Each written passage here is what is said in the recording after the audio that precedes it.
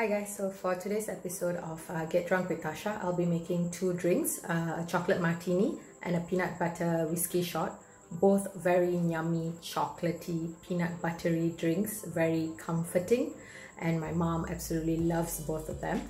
So without further ado, let's just jump right into the video and let's see and um, let's watch and learn how to make a chocolate martini and a peanut butter whiskey shot. So the first thing you want to do is just um, rim your glass um, with chocolate syrup. Just set this aside and let's work on making the drink. So the first thing you would need is uh, 2 ounces of uh, vodka followed by 2 ounces of Baileys and 2 ounces of chocolate liqueur. Just give it a good shake because it's been in the fridge. Pour it right into the chicken. Fill your shaker with ice. Place the lid and secure it. Put the lid on and give it a good shake.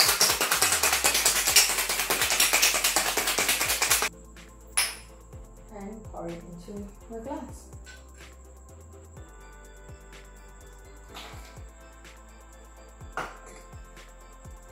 Garnishing, you can always just add some shaved chocolate.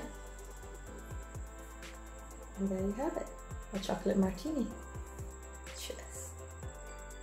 So for the next drink, we're going to try the peanut butter whiskey shot and uh, let's see how that turns out. The last time I made the peanut butter shot for my mom, she absolutely loved it. This time I'm trying to make it with uh, uh, Jameson whiskey. So let's see how it turns out. So these will be the ingredients that we'll be needing. Uh, so the first thing you want to do is just put some um, chocolate and muddle it. This is basically to coat the glass. You a muddler, use a muddler or just use anything. So break them up to look like this. So the first thing we do is to put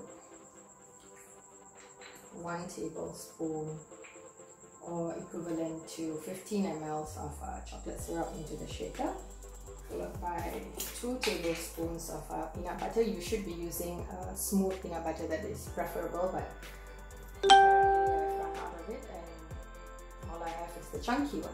So use two tablespoons. What do we do with all this extra on my fingers? Well, I would lick it, but since I'm on this keto diet, I can't. So we'll just wipe it off. Pour in 30 ml of uh, Jameson. Your shaker. It's secured well. Uh, do a dry shake without the ice first. This is basically to emulsify the peanut butter. Now go ahead and add, add um, ice into the shaker.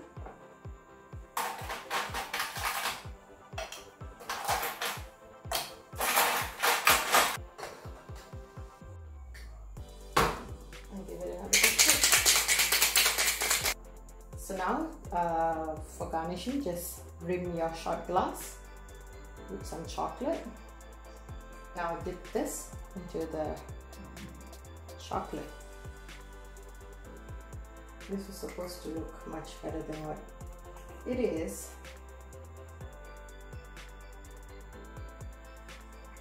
And there you have it a peanut butter whiskey shot.